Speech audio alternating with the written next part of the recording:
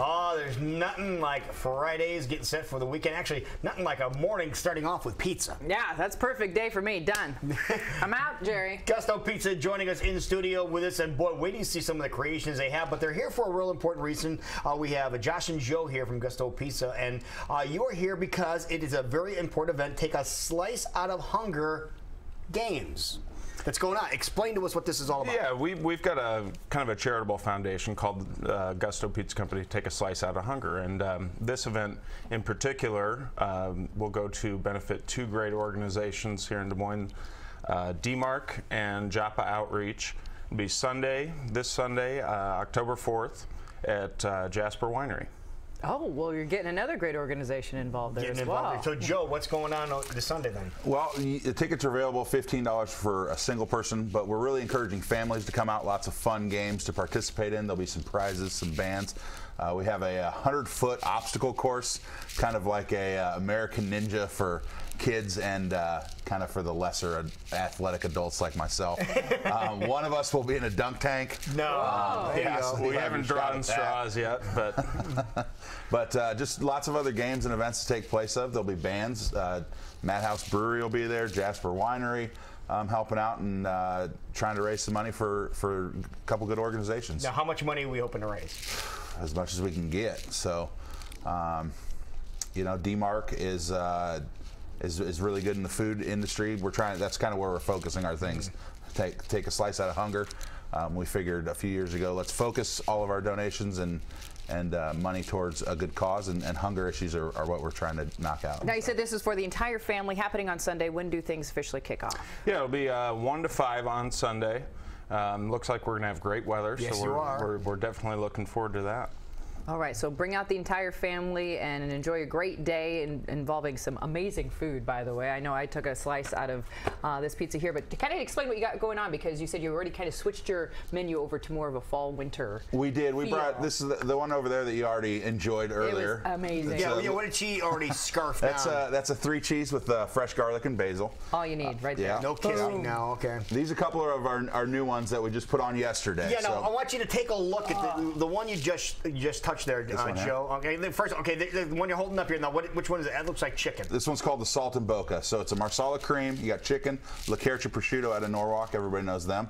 Uh, Marsala. Prosciutto's on there, really? Yeah, the little crumbles up there, delicious. Uh, Marsala onions, mushrooms, and uh, some some fresh sage on there as well. Now, for those people who have never experienced your pizza joint, it is awesome because you have some creations nobody else even thinks about having, and there's proof right here. That's that's kind of the fun part that we get to do. We kind of get to throw things against the wall, see if they work. Now- uh, and if they don't, then At least you tried. At least Forget you about tried. those You- ones, you- yeah. At least you tried, but they're all good. You know they're all good. But then you, everybody has heard of pizza that has eggs on it, right? You hear breakfast pizza, but this one has eggs on it to the point where you know they're eggs. Check this out, folks.